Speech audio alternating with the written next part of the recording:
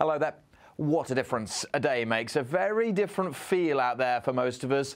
For many, yesterday was such a soggy day. Today, well, there'll be spells of sunshine.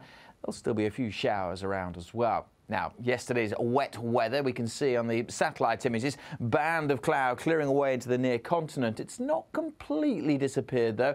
There's still some cloud and a few showers drifting up towards the far southeast. But for many, it's been a cracking start to the day with plenty of sunshine around. However, we are starting to see some shower clouds bubbling up and we'll see more of them just developing as we go through the morning. So a sprinkling of showers, particularly in Northern Ireland, southern Scotland, parts of Wales and England. Not many down the eastern side, although parts of East Anglia and Kent may well stay rather cloudy with a few showers here. The heavier showers this afternoon in Northern Ireland. Temperature wise, well, for most of us, we're in the mid to high teens, but that feels very different compared to yesterday, especially, say, over the Midlands, where it was so wet all day.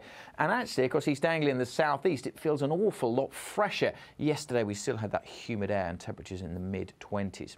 Now, across the southeast and East Anglia, the rain may return this evening. There's some question marks about how far inland this rain gets. The heaviest rain looks like staying just off the eastern side of East Anglia, but there will be some patchy rain across other parts of eastern England. Elsewhere overnight, it's a largely dry night. The showers fade and we have clear skies, and it again turns a little chilly.